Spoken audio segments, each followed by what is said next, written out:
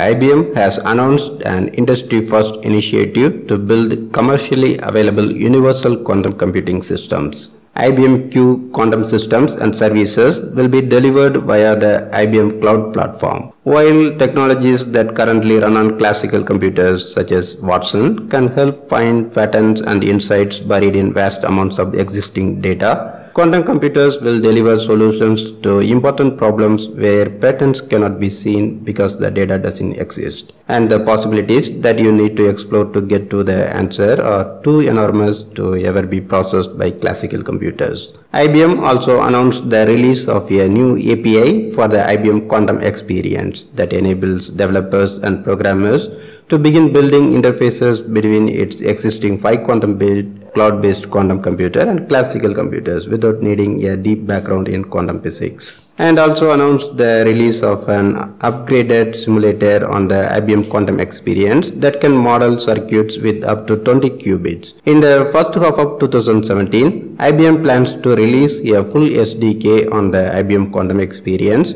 for users to build simple quantum applications and software programs. The IBM Quantum Experience enables anyone to connect to IBM's quantum processor via the IBM Cloud to run algorithms and experiments work with the individual quantum bits and explore tutorials and simulations around what might be possible with quantum computing. IBM Q systems will be designed to tackle problems that are currently seen as too complex and exponential in nature for classical computing systems to handle. One of the first and most promising applications for quantum computing will be in the area of chemistry. Even for simple molecules like caffeine, the number of quantum states in the molecule can be astoundingly large. So large that all the conventional computing memory and processing power scientists could ever build could not handle the problem. IBM scientists have developed techniques to efficiently explore the simulation of chemistry problems on quantum processors and the experimental demonstrations of various molecules are in progress.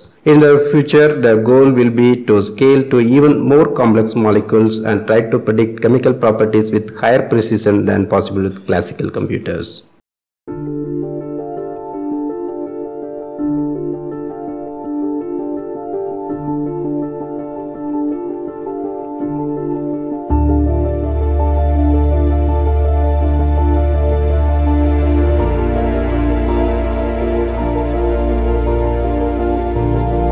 In terms of applications, I think a one type of really big challenge that many of us in the who are working on this really want to be able to solve is to see uh, the simulation of, of chemistry, a simulation of nature.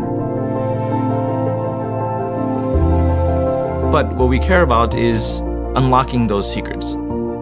If you're going to try to understand nature, which is naturally quantum mechanical, there's no reason to use bits, zeros and ones to do it, but to actually use other objects that follow those same natural laws, quantum bits, to try and simulate them and try and understand them. The implications for this are huge with regards to uh, designing new drugs and uh, designing new materials, understanding catalytic uh, interactions and, and different types of molecular interactions that are just too difficult and too complex to brute force calculate today.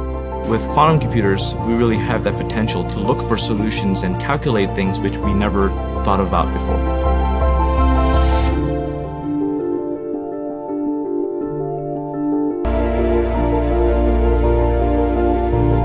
There's tremendous mind share out there that we can bring into IBM from using our quantum experience.